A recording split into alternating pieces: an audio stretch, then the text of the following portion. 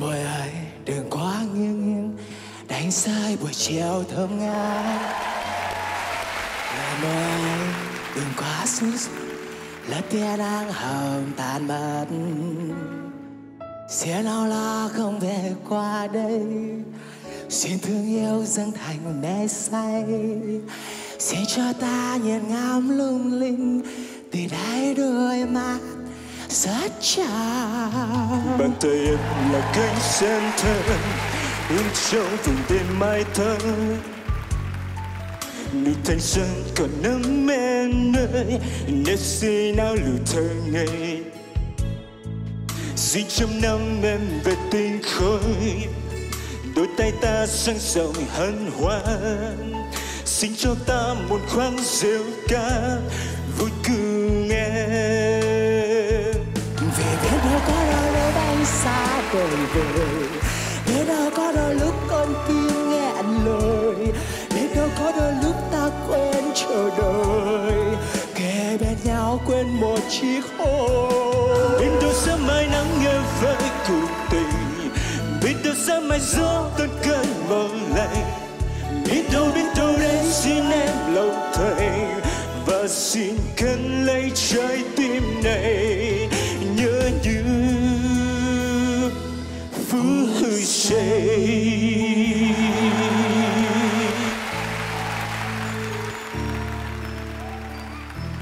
yeah.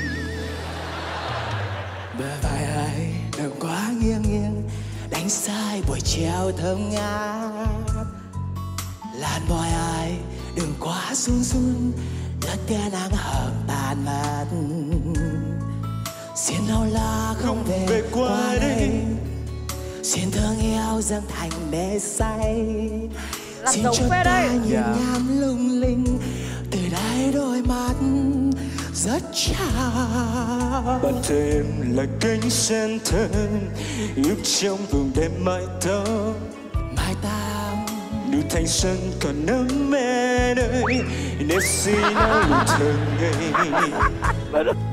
Xin trăm năm em về tình khôi đôi tay ta dang rộng hân hoan. Xin cho ta một khóc rêu ca vui cùng em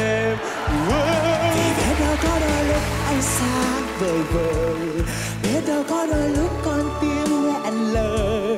Biết đâu có đôi lúc ta quên chờ đợi.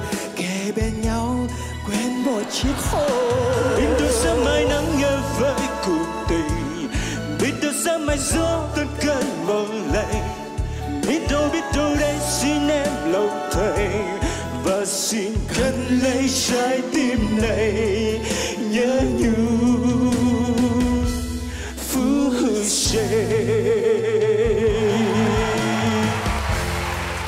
Ngọc Hương.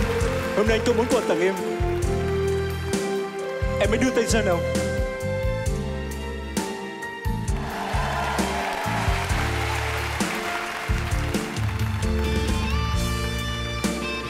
Ồ anh này nhận giả mà anh. Ờ, ờ, đúng rồi em. Thì hai đứa mình cũng giả mà. Hả? Mai Còn, còn, còn hát nốt lên nữa em ơi. Biết đâu có đôi lúc em xa vời vời. Biết đâu có đôi lúc con tim nghẹn lời.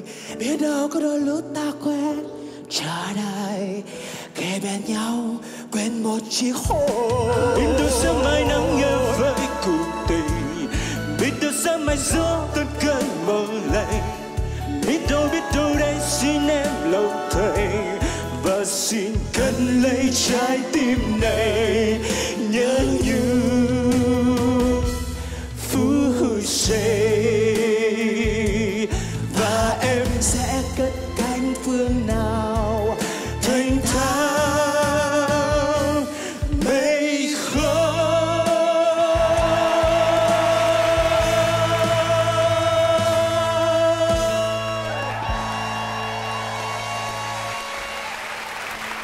tràng vỗ tay thật lớn dành cho Thả Sơn và Phan Ngọc Luân.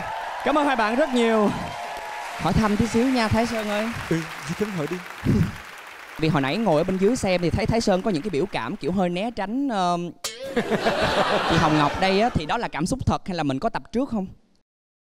Ờ, thực ra thì um, Lam Trường cũng hơi sợ một chút. Chỉ là một chút thôi đúng không? Một chút xíu thôi nhất là Gì? cái lúc mà Lam Trường ôm cái hông cái eo này. Thật sự rất là to. To nhiều đúng không ạ? À, đúng rồi À, thưa quý vị là Hồng Ngọc ở nhà đấy Cái mùa dịch bệnh đấy Hồng Ngọc ăn hơi bị nhiều Cho nên là hôm nay eo hơi to. Thế nhưng mà vẫn xinh không quý vị? Yes? Bây giờ muốn biết có xinh hay không, muốn biết có giống hay không Ngay bây giờ chúng ta sẽ cùng lắng nghe những lời nhận xét đến từ giám khảo Mỹ Linh. Xin mời chị ạ. Tôi thích tiết mục này quá nhưng mà đúng là phải không nghĩa. Cái nhân vật mà bản thân nó đã có cái um, Có cái, đất cái gì cái đất chị? để mình đồ lên á Dạ. thì hai người này làm quá. Nhưng mà cái làm quá ấy, nó không hề làm cho người ta khó chịu mà thấy rất là dễ thương. Hồng ngọc cũng thế. Tất cả những cái dung à, à, à, à, của ngọc này rồi là ngọc hát là cái miệng rất là rộng rất là to và cười ngoác miệng ra. Đấy là những cái điểm rất là đáng yêu của hồng ngọc rồi lắc lắc rồi. Đó đúng không? Thì là nghiên cứu rất là kỹ. Còn à, về thái sơn á à, khi mà em hát em hát giống anh Nam Trường kinh khủng ấy. Tức là em nghiên cứu cái, cái, giật cái người lên một cái xong lại vào hát rồi. Tất cả những cái phát âm của anh Trường ấy, em em nghiên cứu rất là kỹ. Nói chung là chị rất thích tiết mục này. Tiết mục này mở màn rất là chuẩn cho Cảm ơn chị. cho đêm à, thứ thứ 10 ngày hôm nay nhỉ? Dạ. Vâng ạ, ngay bây giờ xin mời giám khảo Lê Hoàng ạ. Tôi nghĩ là thế này có lẽ phải chia làm nhận xét làm hai phân đoạn. Vâng. phân đoạn thứ nhất là ngoại hình và phân đoạn thứ hai là giọng ca. Đúng anh đúng ạ. Chuẩn. Ờ, thì ngoại hình á, thì phải nói thế này nhân vật hồng ngọc giống như nhân vật lam trường bởi vì lam trường ờ, ở ngoài hơi hơi người hơi dày hơn một chút với lại cái tóc á cái tóc bạn đã làm rồi ấy lam trường rồi thì bạn phải nên xẹt ra một tí chứ Ờ, anh hai lam trường đâu có hơi hơi gọi là hơi dựng nó như vậy tại vì chắc bạn sợ chiều cao của bạn hơi bị kém so với cả chị Ừ. Hồng Ngọc đây nên là bạn phải tôn lên chút đó Ờ, bây giờ mới nói lại là bạn Lam Trường á, bạn hơi bị si tình quá. Lam Trường tất nhiên là cũng si tình trong cái bài này nhưng mà cái sự si tình của Lam Trường nó hơi lịch lãm, nó hơi gọi là nó hơi đàn ông hơn, còn bạn là hơi bị trẻ quá. Đây là có lẽ là anh Lam Trường của thời 18 tuổi. Đúng không? Chứ không phải là anh Lam Trường của thời sau này. nhưng, nhưng mà nhưng mà cái hồi đó là anh Trường đâu già lắm đâu anh em phải bênh thí sinh tí Nói chung là thế này, ờ, bạn rất là ok, chỉ có điều thứ nhất là cái tóc bạn nên làm cho nó giống Lam Trường một chút cái đấy đâu có khó. Thứ hai là bạn phải ờ, cố gắng làm sao hơi già đi một tí, hơi sao nhỉ? Điệu nhưng mà cái điệu của cái người lịch lãm hơn một tí, còn cái điệu điệu này trẻ quá. Đấy tôi chỉ À, nói vậy thôi. vâng. Cảm ơn giám khảo Lê Hoàng rất nhiều Ngay sau đây sẽ là phần nhận xét đến từ giám khảo Đại Nghĩa Ờ, với tiết mục này nha thì à, anh xin nhận xét về à, Hồng Ngọc trước hồi nãy hát cái câu cái gì đến cái mái tóc đó luôn vừa đêm mái tóc đó rồi sao em hất cái tóc này anh nói thiệt cho em anh sợ ma lắm anh sợ ma thấy em cứ rủ rượi cái tóc mà em cứ xõa xõa em cứ hất như vậy. Anh nhớ cái bộ phim thái lan người mẹ ma ghê vậy đó. Nhớ. nhưng mà bù lại một cái em dễ thương em duyên dáng vô cùng. Và dĩ nhiên khi mình đang bắt chước một ai đó nhất là nhân vật đó có chất để mình đồ lên á thì mình đồ nó cũng lố tai một chút. Cho anh ta thấy thấy rõ cái đặc điểm của nhân vật. Với giọng của hồng ngọc thì em đồ cũng hơi đậm. Và anh nghe anh cứ tưởng là hồng ngọc đang thời kỳ bị cảm cúm không đó em thấy thều thào thấy cái hơi nhiều quá. Nhưng mà em vẫn ra được cái chất của hồng ngọc ra được cái âm sắc giọng của hồng ngọc. À, và em đã hỗ trợ rất là tốt cho cái phần vừa rồi của Thái Sơn. Còn với Thái Sơn, anh rất là ngạc nhiên nha. Bởi vì có rất là nhiều người đã hóa thân thành anh Lâm Trường rồi. Không phải trong cuộc thi này không thôi Mà còn nhiều những cuộc thi khác trước đây nữa. Trong những sân chơi khác nữa.